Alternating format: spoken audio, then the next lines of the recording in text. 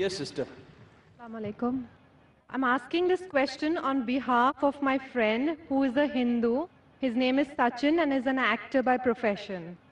He would like to know why Muslim women are not allowed in the Kabristan or graveyard.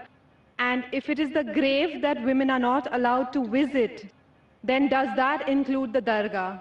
Sister asked the question that why aren't women allowed to visit the graveyard? And there are various different hadith. There are hadith in Sahih Bukhari in which the Prophet said he prevented the women from going to the grave. And the reasons may be many, because maybe they are very emotional and they may not be able to take the death of a human being. That's one of the reasons. And furthermore, there are other occasions in which the Prophet said that these women are not allowed because of the deeds. Let me restrict it certain women because of their deeds. So this is the reason why women are not permitted into the grave.